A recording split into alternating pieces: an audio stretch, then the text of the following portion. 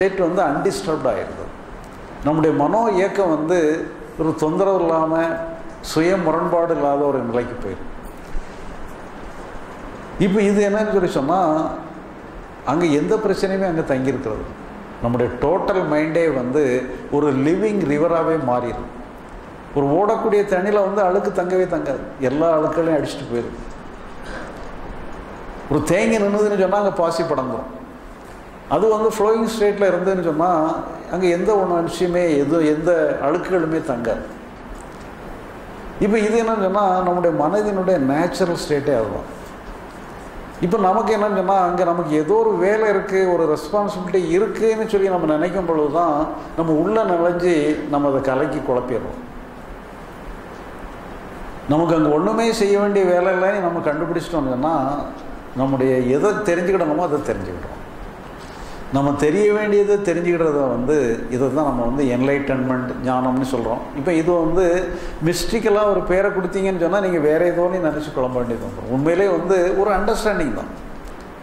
ஒரு இன்டலெக்சுவலாக புரிஞ்சுக்கிறோம். நம்முடைய எமோஷனல் பார்ட்டை சரி பண்ணுறதுக்கு நமக்கு எந்த வேலையுமே இல்லைங்கிறத ஒரு இன்டலெக்சுவல் கன்க்ளூஷனுக்கு வர்றது தான் ஞானம்னு சொல்லி சொல்லிக்கிறோம். அப்படி வந்ததுனால என்னன்னு சொன்னால் அந்த மனசை சுதந்திரமாக விட்டுறோம். அப்படி விடுறதுனால என்ன ஆகுதுன்னா அந்த நம்ம மனதே வந்து லிபரேட்டட் மைண்டாக மாறிடும். அந்த லிபரேட்டட் மைண்டை பொறுத்த அளவில் அங்கே எந்த பிரச்சனையுமே தங்கியிருக்கிறதுக்கு வாய்ப்பு இல்லை. ஒரு ஓடக்கூடிய ஆற்றுல எந்த அழுக்குமே தங்கியிருக்காதபடி அதுவே வந்து புத்தம் புதுசாக புதுப்பிக்கப்பட்டுரும். அதுவே ஒரு லிவிங் ரிவராக மாறிடும். அங்கே வந்து அது எந்த அழுக்கையுமே வச்சுக்கிட்டு ரீட்டைன் பண்ணுறதில்ல எல்லாமே வாஷ் அவுட் பண்ணிட்டு போயிடும் அப்போ நம்ம லைஃபே வந்து ஒரு வேற ஒரு பரிமாணத்துக்கு போயிடும் அந்த பரிமாணத்தில் வந்து எல்லா பிரச்சனைகளும் இருக்கும். எல்லா சந்தர்ப்பங்களையும் சந்திப்பானா அது வந்து சைக்கலாஜிக்கலாக நீங்கள் வந்து பிரச்சனை சால்வ் ஆகிட்டுன்னு சொன்னால் அந்த பிரச்சனையில் ஒன்றுமே இல்லாமல் போயிடும் அது ஒரு மேட்ரே இல்லை. பிரச்சனை இருந்தாலும் அது பிரச்சனையவே தெரியாது. இப்போ நம்ம முதல்ல ஒரு உதாரணத்தை பார்த்தோம். இந்த குழந்தைகள் வந்து கலாட்டா பண்ணதை பார்த்தோம். கலாட்டாவெல்லாம் நிப்பாட்டலை. கலாட்டா பண்ணிட்டு தான் இருக்குது பிரச்சனை சால்வ் ஆகிட்டு அந்த பொண்ணு வந்து ஒரு பிரச்சனையில் ச சிக்கி தவிச்சது. இப்போ அந்த பிரச்சனை சால்வ் ஆகிட்டு அங்கே ஒன்றும் ஃபிசிக்கலாங்கெல்லாம் ஒன்றும் பிரச்சனை சால்வ் ஆகலை. சைக்கலாஜிக்கலாக சால்வ் ஆகிட்டு அதுக்காக நம்ம வந்து ஃபிசிக்கலாக நம்ம அப்படியே விட்டுறணும்னு அவசியம் இல்லை. நமக்கு என்ன ஸ்கோப் இருக்கோ அதை செய்யலாம். நமக்கு அங்கே ஃபிசிக்கல் உலகத்தை பொறுத்தளவில் ஃபிசிக்கல் ஆஸ்பெக்டை பொறுத்தளவில் நம்ம செய்ய வேண்டியது செய்யணும். சைக்கலாஜிக்கல் ஆஸ்பெக்டை பொறுத்தளவில் நமக்கு செய்கிறதுக்கு எதுவுமே இல்லைங்கிறது கண்டுபிடிச்சிடும் அது கண்டுபிடிச்சிக்கிட்டால் மட்டும் போதும். சைக்கலாஜிக்கலாக அகத்த அளவில் நமக்கு செய்கிறதுக்கு எதுவுமே இல்லைங்கக்கூடியதை நம்ம கண்டுபிடிச்சிட்டோம்னு சொன்னால் அப்போ உள்ளே நமக்கு வேலையே இல்லை. நம்முடைய வேலை எங்கன்னா வெளி உலகத்தில் மட்டும்தான் நமக்கு வேலை இருக்குது அந்த வெளி உலக வேலையை மட்டும் நம்ம பார்த்துக்கிட்டா போதும். அதை வந்து வெளி உலக வேலைங்கும் பொழுது அங்கே தர்ம நியாயங்கள். அதுக்காக நம்ம என்ன வேணாலும் செய்யலாங்கிற அர்த்தம் இல்லை. எதை செய்யணுமோ அதை செய்யணும். தர்மத்தை பின்பற்றணும். செய்ய வேண்டியதை செய்யணும். அகத்தை பொறுத்தளவில் தர்ம நியாயங்கள்லாம் ஒன்றுமே கிடையாது. அகத்தை பொறுத்தளவு எல்லாமே இயற்கை. எதுவுமே நீங்கள் கொண்டு வரல. எல்லாம் அதுவாக வருது. உங்களுக்கு வரக்கூடிய உணர்ச்சிகளை நீங்களாக கொண்டு வந்தீங்க. உங்களுக்கு வரக்கூடிய கவலைக்கு நீங்களாக காரணம். உங்களுக்கு வரக்கூடிய பயத்துக்கு நீங்களாக காரணம்.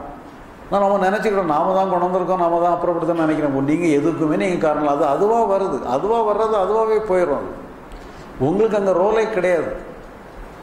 உங்களுக்கு ரோலே இல்லாத இடத்துல நீங்கள் எந்த ரோலையுமே எடுக்காதபடி அகத்தை பொறுத்தளவில் அக உணர்ச்சிக்குள்ளே நம்ம டோட்டலாக நீங்கள் விட்டுட்டீங்கன்னு சொன்னால் நீங்கள் அதை அப்படியே விட்டுட்டீங்கன்னா அதை விடுறது விடுறதுக்கு பேர் தான் விடுதலைங்கிறது.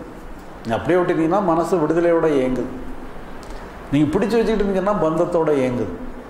விட்டுட்டீங்கன்னா விடுதலை பிடிச்சா பந்தம். அந்த நிலையில் என்னன்னு சொல்லி சொன்னால் நம்முடைய லைஃபே வந்து வேற ஒரு பரிமாணத்துக்கு போயிடும். அப்போ நம்ம வந்து அகத்தை பொறுத்தளவு அதை நம்ம முதல்ல பார்த்தோம். நீங்கள் உங்களுக்கு எந்த விதமான கில் உதாரணம் ஒரு குழந்தைய நம்ம இதை பார்த்து ஒரு குழந்தைய பற்றி பேசிக்கிட்டு இருந்தோம். ஒரு குழந்தை வந்து பயப்படுது கோபப்படுது. குழந்தைக்கு அதெல்லாம் வரும் பயம் வரும் கோபம் வரும். நீங்கள் குழந்தைய பார்த்தீங்கன்னா சின்ன குழந்தை விவரம் கூட இருக்காது. விவரம் இல்லாத குழந்தை கூட கோவப்படும் பயப்படும் எல்லாம் பண்ணும் எல்லா உணர்ச்சிகளையும் காட்டும். ஆனால் அந்த குழந்தை வந்து எப்போது கில்ட்டியாக ஃபீல் பண்ணுமா? நான் கோவப்பட்டுட்டோமே பயப்பட்டுட்டோமே கில்ட்டியாக ஃபீல் பண்ணுமா? கில்ட்டியாக ஃபீல் பண்ணாது. அது நேச்சுரலாக இருக்கும். எல்லா உணர்ச்சிகளும் நேச்சுரலாக இருக்கும். அடுத்த நிமிஷமே அந்த உணர்ச்சியிலேருந்து விடுபடவும் செய்யும்.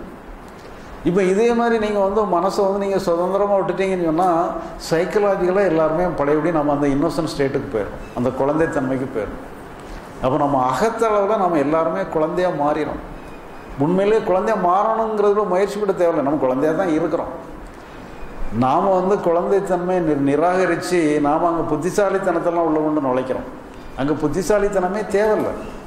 அகத்தை பொறுத்தளவில் நாம் வந்து ஒரு இன்னோசன்ட் ஸ்டேட்டு தான் அதுதான் இயற்கையான ஸ்டேட்டு. அங்கே நம்ம புத்திசாலித்தனம் தான் பிரச்சனையான நல்லது. நம்ம அறிவுக்கு அங்கே வேலையே கிடையாது. அறிவுக்கு எங்கே வேலை இருக்குன்னு சொன்னால் நீங்கள் செய்ய வேண்டிய செயல்களை பார்த்துக்கணும். ஃபிசிக்கல் ஆக்ஷனை பொறுத்தளவில் அறிவுக்கு வேலை இருக்குது சைக்கலாஜிக்கல் ரியாக்ஷனை பொறுத்தளவில் சைக்கலாஜிக்கல் ஹாப்பனிங்ஸை பொறுத்தளவில் அறிவுக்கு வேலையே கிடையாது. நீங்கள் அதை வந்து இயற்கையாக விட்டுற வேண்டியது தான் அகத்தை பொறுத்தளவு இன்னோசன்ட் ஸ்டேட்டு தான் உண்மையான ஸ்டேட்டு அதான் நம்ம நம்முடைய முயற்சியே கிடையாது. அது அது அப்படி தான் இருக்குது நாம் எப்போவுமே இன்னோசண்ட்டாக தான் இருக்கிறோம். தேவையில்லாமல் நம்ம அறிவை உள்ள நுழைச்சி இந்த இன்னோசன்ட் ஸ்டேட்டை டிஸ்டர்ப் பண்ணிக்கிட்டே இருக்கோம் அகத்தை பொறுத்தளவு குழந்தையாகவே இருந்துட வேண்டியது தான் நாம் அறிஞனாக இருக்கிறதும் ஒரு மனிதராக இருக்கிறதும் புறத்தை பொறுத்தளவு தான். புறத்துக்கு தான் நீங்கள் வந்து அறிஞன். அகத்தை பொறுத்தளவில் நீங்கள் குழந்தை தான் இதுதான் வந்து உங்களுடைய மனம் வந்து ஒரு வித்தியாசமான பரிமாணத்தில் செயல்படுறதுங்கிறது. இப்போ இது ஞானிகள் வந்து ஏதோ ஒரு வகையில் அவங்க கண்டுபிடிச்சு வந்துடுறாங்க. இப்போ இது வந்து அவங்க சிலவங்க எப்படி கண்டுபிடிச்சோன்னே தெரியாமல் கண்டுபிடிச்சிடுறாங்க. இதை வந்து சரியான முறையில் அது என்ன தான் கண்டுபிடிச்சாங்க எப்படி தான் தீர்வடைஞ்சாங்கங்கிறது நம்ம சரியான ஒரு ஆய்வுக்கு எடுத்தோம்னு சொன்னால் அது ஒரு சயின்ஸ் அது. இந்த சயின்ஸை வந்து நீங்கள் எல்லாருமே இந்த சயின்ஸை புரிஞ்சுக்கிட்டீங்கன்னு சொன்னால் எல்லாருக்குமே இந்த சயின்ஸு பயன்படும். ஏன்னா இது வந்து ஒரு மிஸ்டிக்கல் வேர்ல்டே கிடையாது மிஸ்டிக்கலான விஷயமே கிடையாது. ஒரு சராசரி தனியான நம்ம நடந்து போகக்கூடிய ஒரு நம்ம நம்ம காலடிக்கு கீழே உள்ள விஷயம் அது. நம்ம என்லைட்டன்மெண்ட் லிபரேஷன் ஏதோ தலைக்கு மேலே ஆகாயம் மண்டலத்தில் இருக்குன்னெல்லாம் நினைக்க வேண்டியதில்லை நம்ம காலுக்கு கீழே இருக்குது. நம்முடைய அன்றாட வாழ்க்கையோட சம்மந்தப்பட்டதாக இருக்குது ஒரு சயின்ஸாக இருக்குது அதை நம்ம கண்டுபிடிச்சிட்டோம்னு சொன்னால் நம்ம எல்லா பிரச்சனைகளையும் விடுபட்டோம்.